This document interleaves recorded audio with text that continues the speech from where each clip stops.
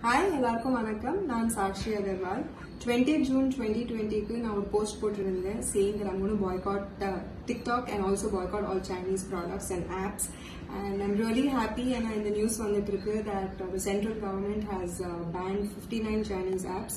So thank you so much to the central step கண்டிப்பாக it's just a starting step baby step and இதுக்கப்புறம் uh, நிறைய differences and நிறைய changes வரும் நம்ம நாட்டில். So I am really thankful